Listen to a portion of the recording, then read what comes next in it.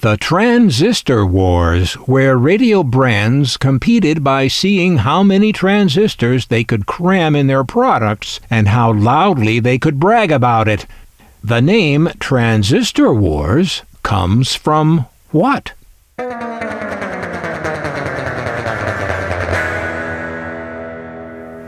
The name comes from the gas wars of the 1950s and 60s. And what were those? Well, in mid century America, at the intersection of any two major roads, was a gas station.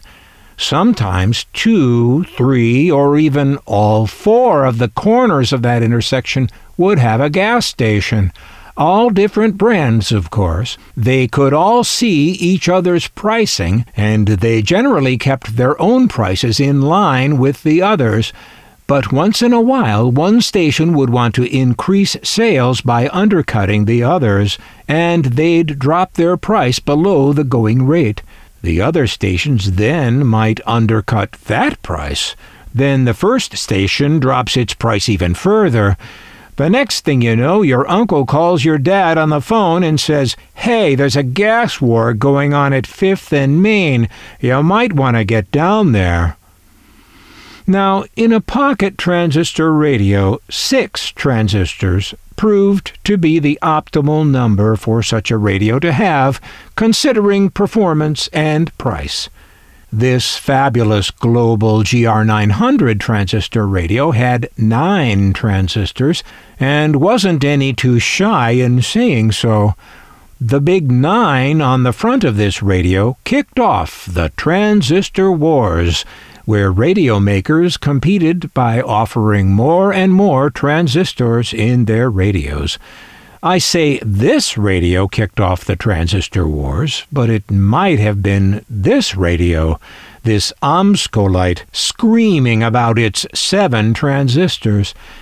It's impossible to isolate the exact radio that started it all, but this global is as likely as any to stake that claim. Falling transistor prices made these increasing transistor counts possible.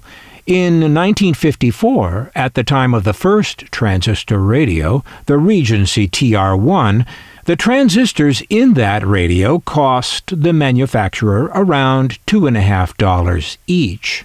In 10 years, by the mid 1960s, the wholesale price of transistors for radios had dropped to just pennies apiece. And so some radio makers, especially those in Hong Kong, began offering radios with as many as 14 or 15 transistors. The circuits in most of these radios had no use for anything more than 9 or 10, so those extra transistors were often just sitting there, not even wired into the circuit. But the bigger numbers looked good and helped the smaller brands market their radios, even if the advantage offered was dubious. Well, now here's a curious thing. Most of the transistors in this Hong Kong made 15 transistor nobility radio are stamped USA. Now, this global GR900 here really did use all nine of its transistors, and it's a good performing radio. It appeared around 1960 at quite a pivotal moment and represents a kind of end of an era because after this global, as the transistor count went up, the effort devoted to design went down. We saw increasingly plain, boring radios in this era as product design and styling took a back seat to transistor count and price. The Raleigh folks slapped together this cheapie with an all metal front. Style wise, it's a box. And black, of course. This 12 transistor disappointment was made in Hong Kong. 14 transistor boasts this Tempest Hi Fi Deluxe pocket transistor radio with a speaker grill shape that reveals a design department completely out of ideas. It's made in Hong Kong and is jam packed with, as is claimed, 14 transistors. And here's the OMGS Suburbia long distance with 12 transistors. Another all metal front. But an unusual design with that knob on the corner. Unusual, but, you know, so what? And packed with 12 transistors, as promised. You could call this Viscount 12 transistor minimalist but I think all they really intended to minimalize were their costs. It's an all plastic radio, except for its nameplate. That plastic is trimmed in silver, using some process that was about as permanent as a sandcastle on the beach in a rainstorm. And the radio is black. Of course, black another Viscount, a 14 transistor. This one's got a metal grill, but that's neither praise nor scorn. The whole thing is just another mediocrity. But with 14 transistors, this Safari has 15 transistors. Take that, Viscount. And a similarly pointless grill shape we saw earlier. What radio was that?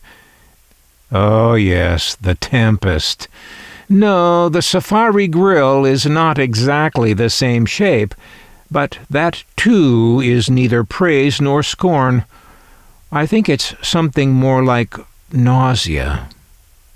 And look at the way these fifteen transistors are crammed in here. It looks like your neighbor's driveway. You know, the one with all the cars you have one of those in the neighborhood, don't you? I sure do. Jade. Oh, Jade. Did any company ever spend less on product design than Jade? But it's got 12 transistors and a red knob. You'd think something called Jetstream would be pretty sleek and impressive well, nope. Not here on this yawn black radio with its yawn all metal front.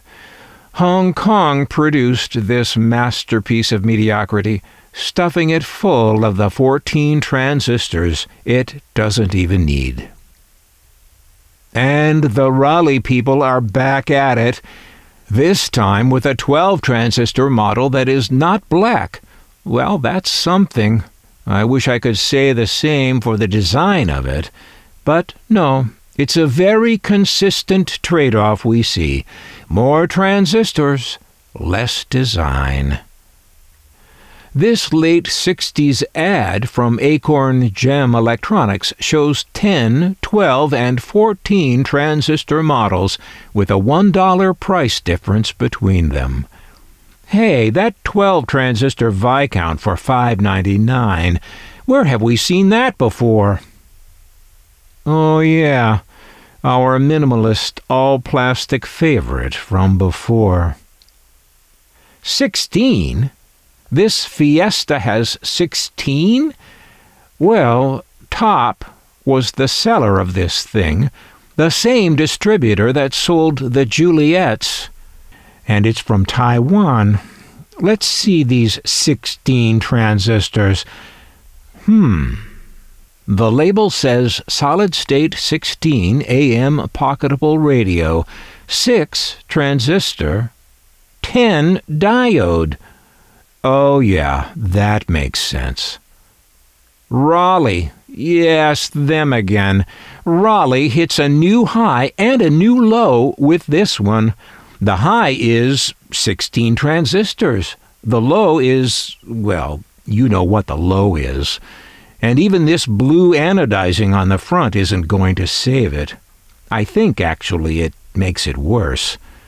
Counting the transistors inside, I only get up to 12, but maybe there are more under the circuit board. Or maybe the 16 transistors is just a lie. Would you put it past them? And then there's this one, so colossally gaudy that it even has a video of its own. The Juliette 14 transistor with the alligator, chrome, and flat black trim. Oh boy. This one's made in Japan or Hong Kong. Examples have been found with either Japan or Hong Kong noted on the back. Nobody won the transistor wars, but there were losers. Design and styling were the biggest losers as the transistor count went up and the prices went down. I don't think the consumer would see it this way, but I believe they were the biggest losers of all.